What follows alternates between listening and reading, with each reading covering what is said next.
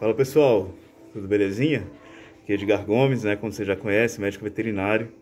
Estou aqui na ONG Toca Seguro, uma ONG aqui do Distrito Federal, uma ONG muito séria, por sinal, gosto muito daqui.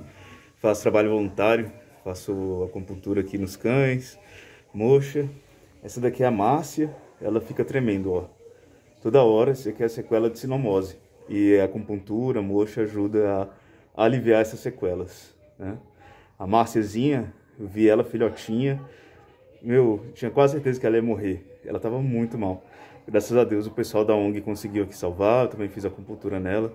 E ela tá bem melhor, brinca hoje e tal, bem legal. Aí galera, olha o que eu tô fazendo aqui, ó. Isso daqui é o bastão de moxa, que é um bastão de carvão de artemisia, né? E ele fica em brasa.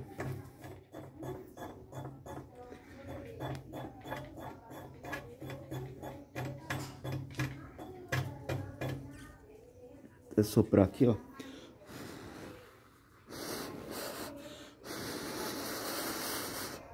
Ele fica bem laranjado, acho que talvez na filmagem não dê pra ver direito. Mas ele fica realmente em brasa. Fica super quente. E ele serve para estimular os pontos de acupuntura também com calor. A gente aproxima a mocha do ponto e estimula ali.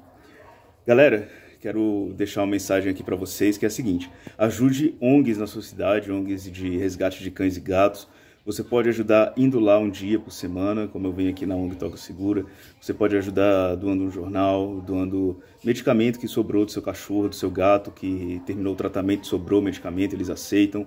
Doando produto de limpeza, doando jornal velho. Jornal velho é útil na, nas ONGs né, para limpeza. Você pode doar também um valor financeiro.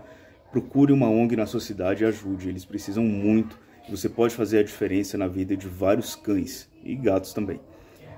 Galera, outra coisa, desejar para vocês um feliz 2021. Foi maravilhoso estar com vocês durante esse ano. Muito obrigado por acompanharem o canal, por, por compartilharem os vídeos, por é, deixarem comentários também nos vídeos. Então, desejo para vocês um excelente 2021, um excelente ano para todos nós, cheio de alegria, felicidade, de saúde para a gente, para os nossos cães, tá bom?